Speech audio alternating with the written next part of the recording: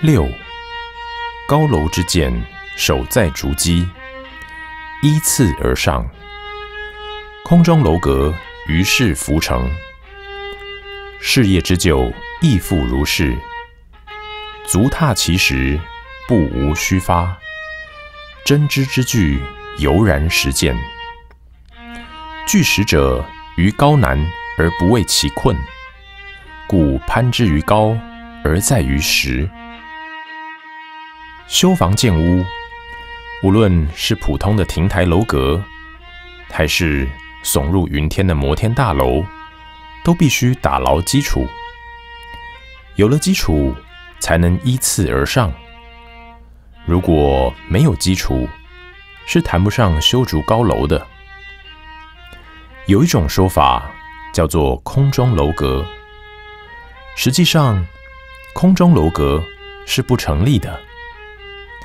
它是用来形容一个人做事不踏实，而犹如空中的楼阁一样子虚乌有、不实在。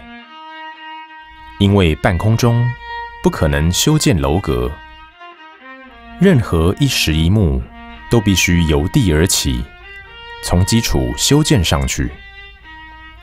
同样，我们在世间上所做的一切事业，就正如修建高楼一样。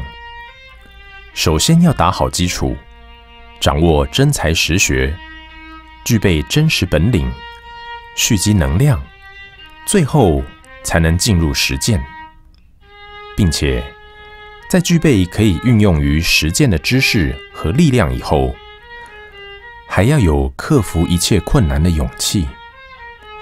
千万不要被中途的一点障碍和挫折所吓倒。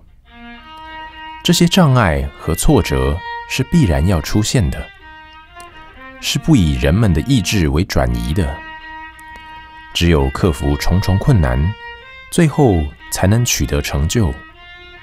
所以，攀之于高而在于实，基础牢靠，一步一个脚印，实实在在的登上去，才会达到事业的顶峰。